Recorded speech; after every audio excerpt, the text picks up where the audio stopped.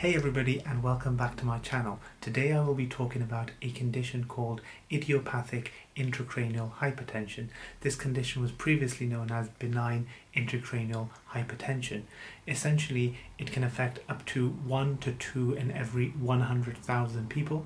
It has a gender bias and tends to affect females more than males. And essentially, in a nutshell, what tends to happen in this condition is the fluid which bathes the brain and spinal cord causes an increase in pressure around these two particular structures, typically because of an increase in the amount of cerebrospinal fluid, and this culminates in a collection of symptoms not limited to headaches and blurriness of vision. So, if you want to learn more about this condition, please stay tuned.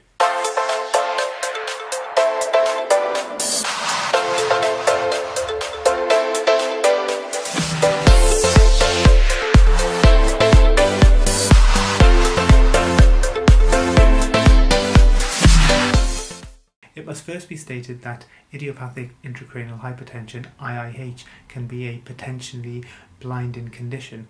Therefore, the condition needs to be picked up early and therefore treatment can be um, implemented. The classic textbook symptoms that patients may present with include headaches, which are classically worse when lying down, worse when coughing, worse when sneezing. The patient may complain of blurriness of vision or temporary losses of vision.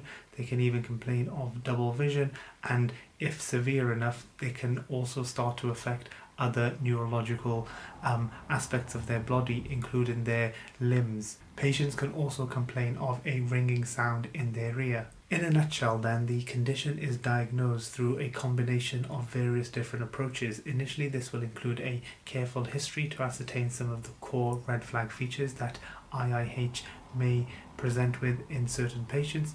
The next stage is a careful examination to include a neurological examination and a um, ophthalmological assessment to carefully look at the optic nerve heads.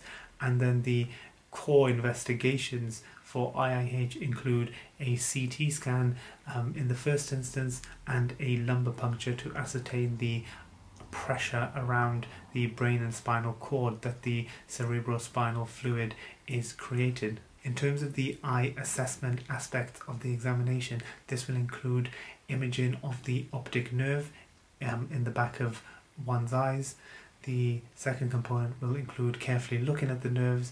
A visual field assessment will also be performed, actually establishing what one can see on a reading chart and also assessing one's colour vision will form the core aspects of the eye examination. What causes IIH?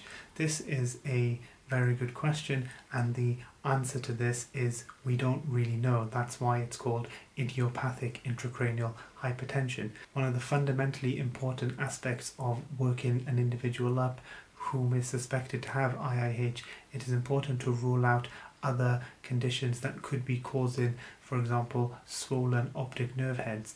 This is not limited to things such as masses inside one's head. What we do know is there can be certain risk factors that can increase intracranial pressure. These include excess vitamins, for example, vitamin A, um, also um, the use of steroids. The fundamental component of managing patients with IIH is to lower their intracranial pressure, make them less symptomatic, and also try and halt the progression of any damage to their optic nerve heads and therefore their vision and visual function. One of the very fundamental core aspects of managing a patient with IIH is weight control and management of this. In addition to this, um, medical treatment will include tablets which classically try and offload fluid from one's body, including the CSF, and this will help to relieve some of the pressure. But every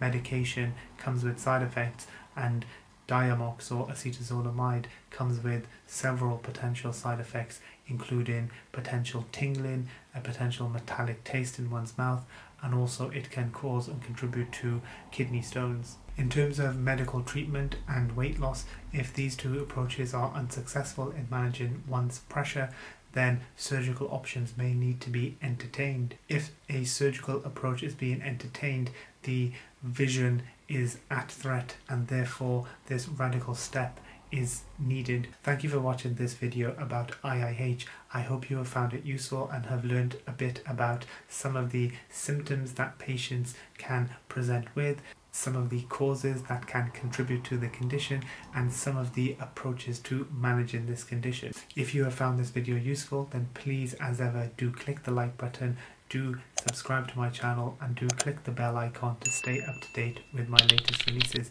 Thank you so much for watching. Take care.